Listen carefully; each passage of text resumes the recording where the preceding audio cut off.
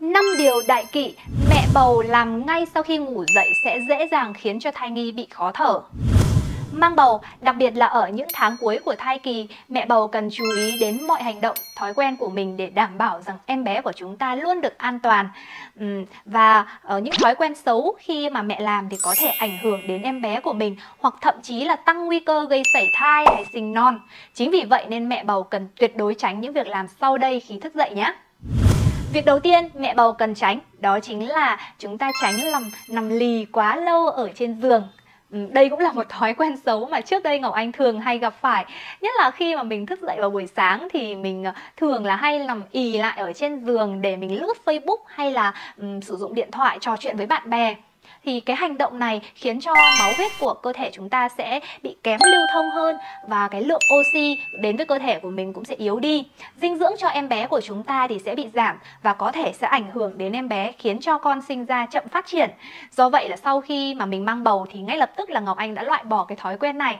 Các mẹ mà cũng có thói quen này thì cũng phải loại bỏ ngay đi nhá. Thói quen xấu thứ hai, đó là các mẹ thường ngồi bật dậy ngay sau khi ngủ dậy trái ngược với cái thói quen mà mẹ bầu lười biếng như Ngọc Anh, thì ờ, có một số mẹ lại rất là năng động. Vừa mới ngủ dậy, vừa mới mở mắt ra là mẹ đã ngồi bật dậy và đi ngay xuống giường. Thì đây cũng là một cái thói quen mà ảnh hưởng đến sự phát triển của cơ thể.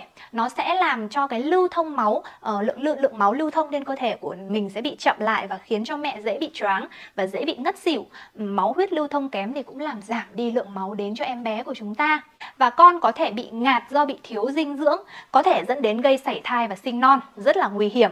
Thế nên khi ngủ dậy thì mẹ nên ờ, đừng bật ngay lên ra khỏi giường mà hãy ờ, nằm một chút. Nghĩa là ờ, giữ cho mình một thời gian vừa đủ rồi hãng ra khỏi giường nhé thói quen thứ ba mà mẹ cũng cần phải loại bỏ đó chính là tắm ngay sau khi vừa mới thức dậy.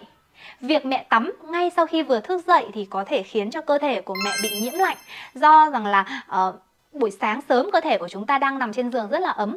Chưa kể là ngay khi vừa mới thức dậy mà cơ thể của chúng ta còn đang rất là đói. Và nếu như chúng ta tắm gội ngay thì mẹ có thể bị ờ, tụt huyết áp và gây ngất xỉu thậm chí đột quỵ.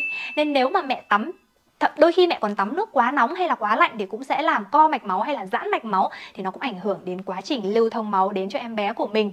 Nên là mẹ uh, nên ăn sáng nhẹ nhàng và nghỉ ngơi một chút rồi chúng ta hãng tắm nhé Thói quen xấu thứ tư đó chính là mẹ không uống nước khi vừa mới ngủ dậy. Rất may mắn cho Ngọc Anh đó là mình đã có được cái thói quen này trong suốt cả những ngày tháng trước đây khi chưa mang thai cho đến tận bây giờ.